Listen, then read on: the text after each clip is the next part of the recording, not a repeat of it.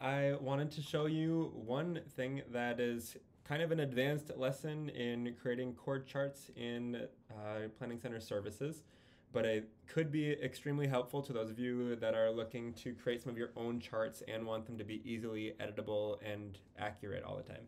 Um, so I'm going to look at uh, Paul Luthie's version of Be Thou My Vision here, because you'll notice it is written on a Google Doc, or not a Google Doc, a Word doc, um, which is helpful except uh, we can't necessarily guarantee that every computer is going to have the exact same formatting. It should be pretty close, but not guaranteed. Um, so if you look at this version of the song, and you look up here, we have a spot that says lyrics and chords. When I click on that, um, this brings us into a sheet music creator that is built into Planning Center services. Um, I already took the liberty to write in the lyrics because uh, I just wanted to make sure that I was efficient with my time on here. Um, but I threw in the headings. Notice that when I wrote things like verse, or if I even write like chorus, um, it will come over here and it recognizes that that's a familiar word in a like in a, a heading of a song, and so it automatically bolds it for us. Um, I typically even go all caps just to make it super clear. Um, but those those are just uh, style things that I have chosen to do. Um, when I look at this though, and I want to put in chords, the way to put chords into these words, oh, uh, let me give you one step at a time. This side is the editing side. Um, so you'll notice I'm typing all of my things over here. On this side, this is the actual uh, view of what the sheet music will look like. Uh, so as you make edits on the left, um, it will show you on the right what the end result is, and it will kind of make those, those changes little by little on the way.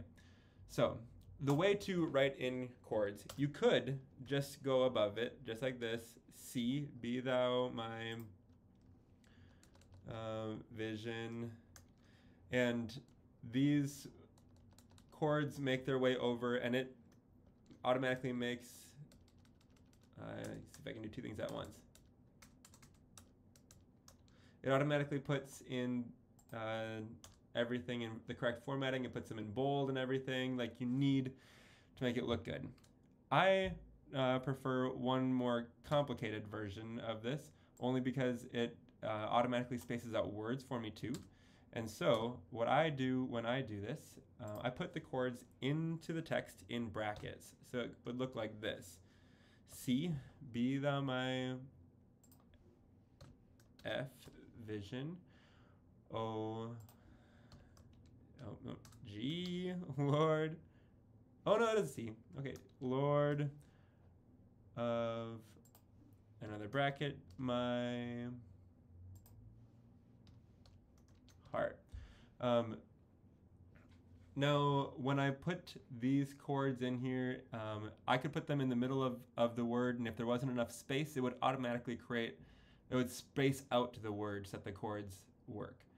Um, what I prefer about doing this version of writing songs, if we go back into the service or into uh, the song, um, now when I add another key, like say we want to add this in the key of D, I'm going to hit save.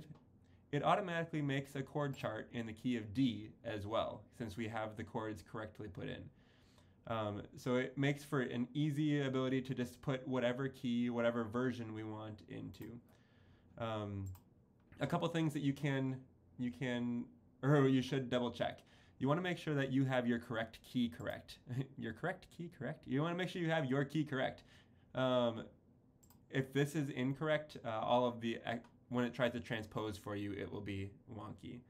Um, there are some extra things if you want to uh, style the way that it shows up on the the the final sheet. Like if you want uh, it into columns, if you want it in certain um, pages to you want to break up. Um, there's more things you can learn in here. All that is great. The other thing that I would show you is you can switch uh, the way that the song looks. Um, you can pick a different font. You can change the font size. Uh, you can you can change a lot of the pieces in here to make it helpful um, for whatever you need on on your team. But then you can download whatever you need, and your team would have access to a correct copy.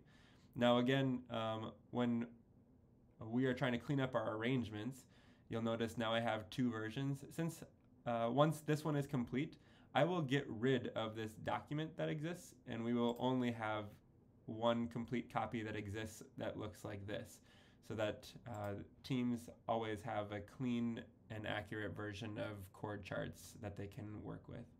If you have questions, send them our way. Thanks, team. Bye.